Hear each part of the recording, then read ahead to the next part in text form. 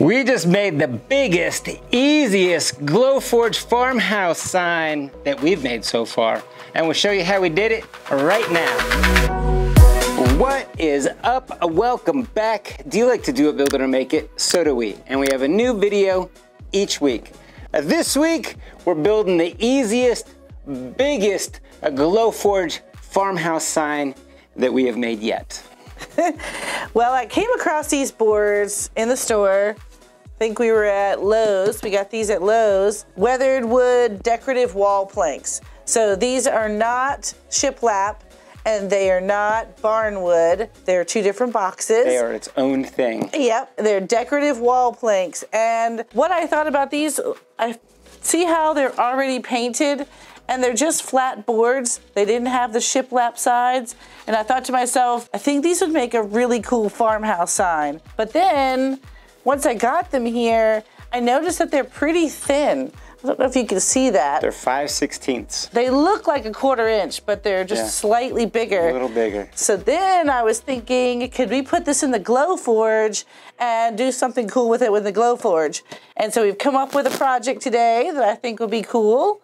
We I think it's cool. Yeah, we can use the Glowforge to do something different. Kind of make a project, a farmhouse sign, but make it easy and then Yeah, make it cool. the easiest. Yeah, I mean, really easy. Yeah. I think this is going to be a relatively quick project. I want to cut some letters out and then score this so we'll have perfect placement. Yes. Perfect. That's what the Glowforge is going to give us the ability to not have to figure out where the placement is. Now, I know you're probably thinking, as we did originally, you can cut your letters out on a board and then the, the cutout would be your perfect placement. And it works pretty well. But the problem with that method is if you leave it down and place your letters, if you pick it back up again, especially with a bunch of little letters, they pop up and they make a mess. Or you can glue it in the frame, which Garrett was like, you glue it in the frame, but then the frame gets glued down a to little your piece. seeped out. I glued the frame to the piece. So this is what I think is a, a third alternative that I think is going to make it even easier. I think so too. Step one, we're gonna gather all of our supplies. Well, we needed the planks because that's the whole reason for the project. Now, I will say these do come in 48 inch lengths. Looks like four of them at 48, and then a You couple. us. Yeah, these were hidden on the inside. I didn't read the box clearly, so I thought I'd let you know. There are a couple of others in varying lengths, Like 18 inches and 24 inches, I guess. something like that. Something like that. Then we needed some quarter inch MDF. Have uh, two sheets of 12 by 20. We needed some black paint, some masking tape, some little 5 8 inch brad nails. Or if you don't have Brad, you can use this uh, traditional Gorilla Glue and clamp them together. Oh. Yeah, So that will hold too. It will. It will definitely hold. Step two, we're gonna make our design. I'm gonna mock something up in Illustrator, test it out with Kim, and Yeah. then we'll make it a real thing. Yeah, this one's gonna say family. It's gonna be a family sign. We did one once before that said it's good to be home, but this one I wanted to say family, so I did look for something a little sassy to say. I thought that would be funny, but I couldn't find one I really liked, so we're going with traditional. Something traditional, something safe. yes, safe. Before I start designing, I want to get the actual measurements. I mean, I know it says that they're 5 by 5 or 5.5, but I don't believe it. And there's a good reason. Three of them is only 14.75. Seven five. So I'll have to remember that. And it's only like 47 inches, so. All right. Well, close enough. Okay, we're in Illustrator. The first thing I'm going to do is set up my artboard so that it is the size of our boards. So it was 48 wide and it was 14 point, oops, 14.75 tall. All right, next I'm going to put my words in there. It is family. We'll make this big so we can read it. I'm Gonna hold shift and drag one of the anchor points out so it stays uniform. I'm gonna copy, control C, paste, control V. This is all lowercase. It's everything else can wait. Alright, that's big. Hold shift, grab and grab an anchor point, shrink it. Shrink it some more. Alright, now I have the fonts that Kim would like to use. This one is source code variable. Let's try this source code variable. Regular. Alright, and everything else can wait is Lucida. Lucida Bright. Alright. Let's put a border on this so I'll know where we're where we're at. So I'm gonna add a layer. New layer. Not gonna name it. Let's draw a little box. Let's make it red. And we're gonna make it 1.25 inches wide and 14 inches tall. Let's hide my layers. Copy paste. Copy paste. Hold shift, grab an anchor point. Boom boom. Goes on its 45. Copy paste. Give one at the bottom. Alright. I'm gonna add a stroke. Nope, I'm not. That looks fine. So I'm going to create outlines. This makes it cuttable. And then I'm going to unite everything so that they're all one. You see how the A has two pieces to it? We'll unite it so it's all one. A little bit bigger. All right. We'll make this one a little bit smaller. Just making it fit in there. Alright, I want the same spacing between the bottom of the words and the next word, so paste one more. I'm gonna add a stroke to this to make it a little bit thicker. So I'll make a black stroke. I'm really worried about that I, that Y. Alright, I think that's thick enough with three points. One more. Four. We'll leave it at four. Looks good. Looks good at four. I'm worried about this Y. Make sure it cuts and doesn't just burn up. Alright, shrink it just a smidge. Widen the spacing on this. Alright, I'm gonna space these letters way out, like way out. 300. Nah. Still too close. Go 400. Let's go 500. That's what I'm talking about. That's looking good. All right, let's center everything. All right, I think that looks good. Let's go ahead and hide the border. All right, looks good. We'll create outlines. And remember, we gave this a stroke. So let's go over here, object, path, outline stroke, and then we're going to unite it all. Bam. Now to make sure that I have it all lined up on the board, I'm going to draw a rectangle around this thing. And I'm going to make this rectangle no fill. Give it a stroke of blue. Just making sure everything in here is grouped. group these. Here's grouped. Alright, I'm going to select everything. Oh, let's make sure these two are grouped. And this guy. Hmm. Select the outline. Let's make this outline so we can see it. Alright, we're going to select the outline and all the words. We're going to align them center and align them middle. Alright, let's export this and get ready to. Let's export this as our score files. Export as.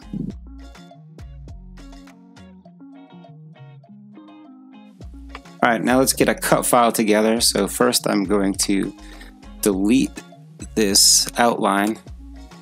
That way it's not stuck inside the outline inside Glowforge. Now I'm going to group all of these so that they're easy to cut on just two boards.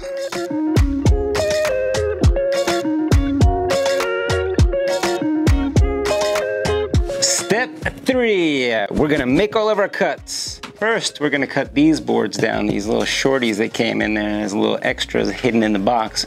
We're gonna cut these little shorties down to 14 and a half inches.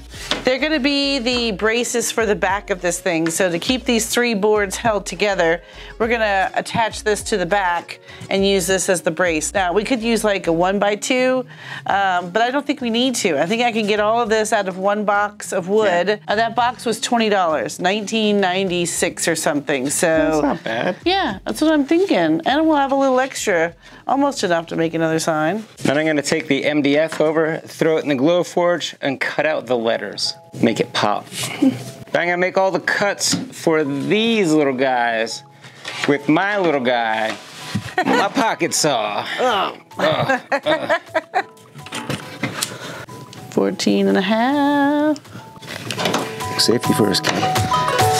Safety first, Garrett.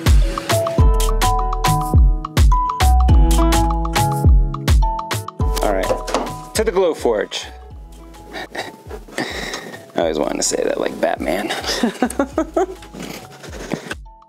I just imported the SVG that we made that had no frame so that we're able to move the letters around. I'm using quarter inch MDF, so I'm going to use the thick draft board settings. I'm going to set these both to cut. I'm going to move these letters around a little bit, make sure they fit the best on the board, and then I'm going to go hit print.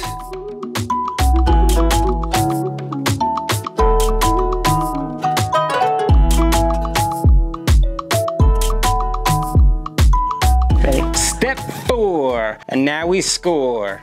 Yes.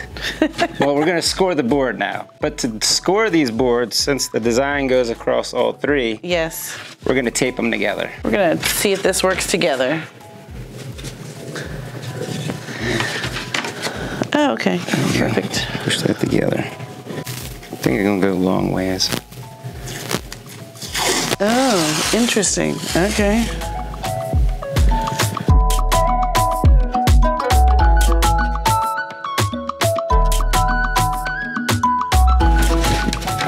All right, looks good. Looks pretty tight. Yeah. I don't think we're gonna get it any tighter when we put the- put the backers on. Last minute change of plans. We're gonna mask the front so we don't get any of the charring when we are uh, scoring. Again, they're pre-painted, so I don't want to. Well, they're primed really, but I think this is a a perfect look, so I don't really want to have to paint them again. Going with that easiest thing.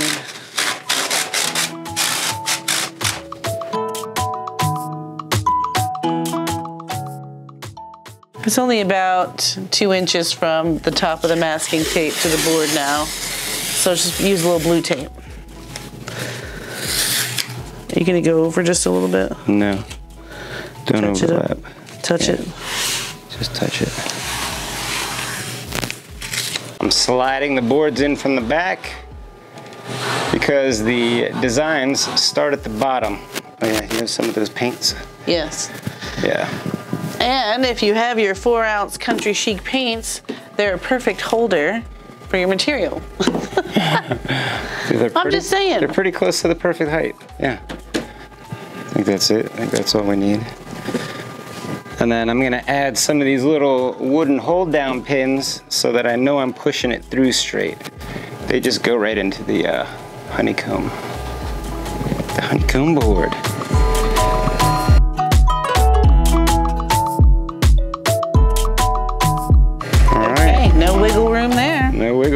Should be sliding it straight on through. All right, back to the Glowforge to line it up. I imported the SVG that we made with the frame on it. I'm going to enable the pass through. And then I'm going to pick like a basswood. I want the hardwood basswood medium. Now let's line it up on the board. I'm going to use that frame to kind of make sure it's in the middle, all lined up. I'm to use the bottom. Let's make sure we ignore the frame and we score the words. We'll just use draft. All right, let's get ready to print.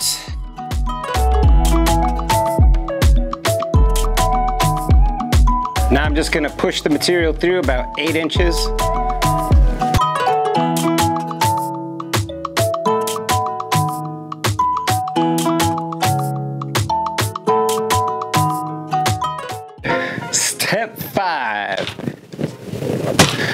Now we paint.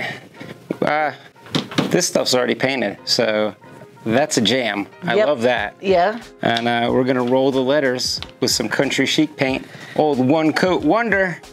Well, sometimes. this did not get, so we're using this quarter inch MDF. Well, I kind of made a mess there. Oh, making a mess. I'll clean that up. We did not, Mask it. yes, But we're using black paint, so it doesn't really matter. You're not going to see it. And I was going to say you can leave it in the frame even. Oh, you think so? Because it's black paint, and I don't care if it oozes down just a little bit. You're not going to see Oh. it because of the charred sides. All right, you leave yours in the frame. I'll take mine out and we'll see how they do. All right. All right. Be able to do a comparison side by side.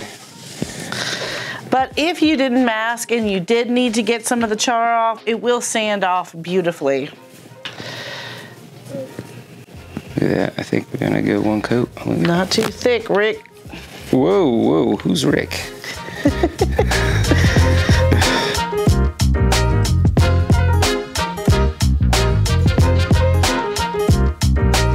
Step six, now we assemble it.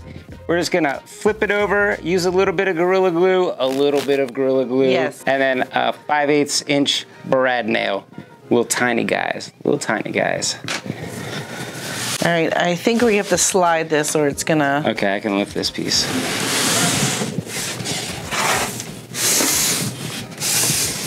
There we go.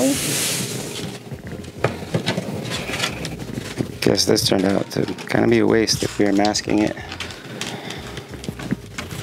Well, we learned something. Probably only need to mask the front.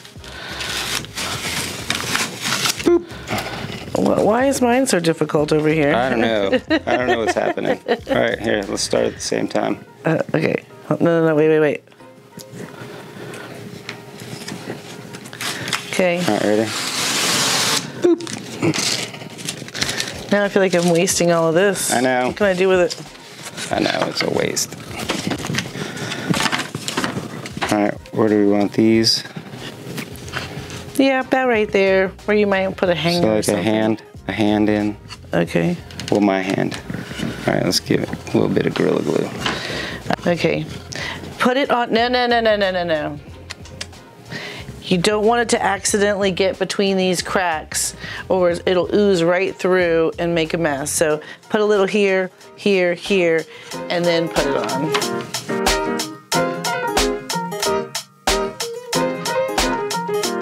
Now I'm just gonna hit it with a 5 8 inch brad, the nail, not the guy. Ooh, right through the heart. And remember, if you didn't have your own brad nailer, brad nailer, 5 eighths is too big. Yeah, Too much pressure, like sunk deep in there. all right. Can you just back that pressure down a lot? Probably should have done a test nail. This thing, Which way are you turning it? I turned it left.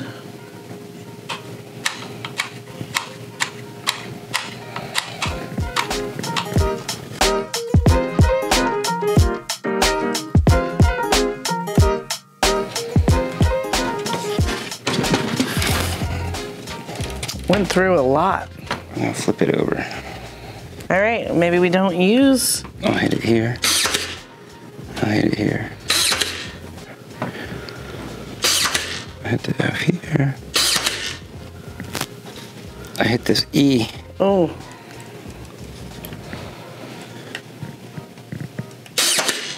Got it. okay. he nailed from front to back so that we could put the letters over it. Should hide the nails. It did kind of go through to the table.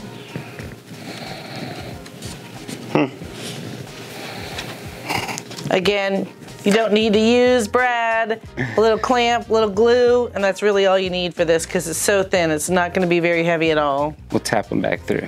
Okay, you want to tap it through now? Yeah, where's the hammer? Over on our little cart over there. Just gonna tap the nails back through so we can't see them. oh, look at that. You won't even see it. Now, let me ask you. What? So it didn't come back through. These that came, Yeah, I think the pressure on Brad was a bit too high. This wood is super like thin. yeah, it's real wood, but it's very soft. There you go. Perfect. Now it does. Now it's not through either side. Okay. Great. We're good. We're good. You want to remove this and we'll start. Yep. Now we'll just take the off letters. the masking tape and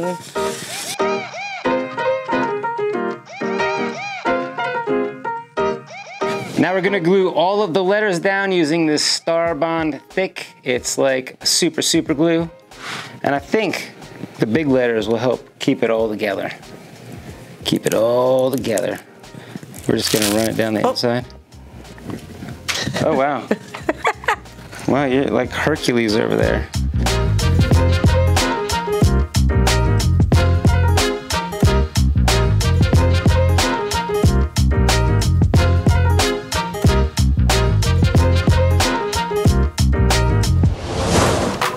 All right, what do you think? I mean, I think it was super easy. it was I- super fast. This I was such a quick project. All we had to do was assemble these boards. Cut this. The longest part was lining it up in the Glowforge for the pass through. Waiting for the Glowforge to do its thing. Yeah, but all, all I had to do was sit around and wait for it to. Yeah. I, yeah, I think it might have taken a little longer, but I'm pretty sure everything's lined up perfect, like perfect placement. I didn't have to worry. I didn't have to get the ruler out and check each letter. It took No me no time to paint these letters in black. Like I said, this was already painted. And the great thing about Already using kind of these, distressed. yeah, and it's distressed exactly. Yeah. And the great thing about using these boards is it's super light. I Super can't. light, like- I wish I could show you how light it is. so light. Like, So if I were using uh, one by fours or one by fives, this would be pretty heavy. it would be like three times as heavy, easily like three times as heavy. Because it'd be three times as thick. Yeah, I like it. I enjoy using it to score it. I think we can do other things where we use, uh, Yeah, Wood just a new tip for you today. yeah. Just if you have a Glowforge and you hadn't thought about doing this with it, this is another. this is another thing you can do with it. Yeah. You don't have to cut the wood. You could just score big wood. Scoring the big woods. All right. Big thank you to our patrons, and we're about out of time. So, if you're not going to join us for the patron after show, we will see you next week, or we'll do it, build it, and make it again. And now I'll do the official balance. Oh, the, This is the official. Last one was just showing how light it is. You don't trust me by now? You still don't trust my balance? well, I don't want you to break it. We literally just finished it. Man, look at that. Comes back down to earth. pitch Keen.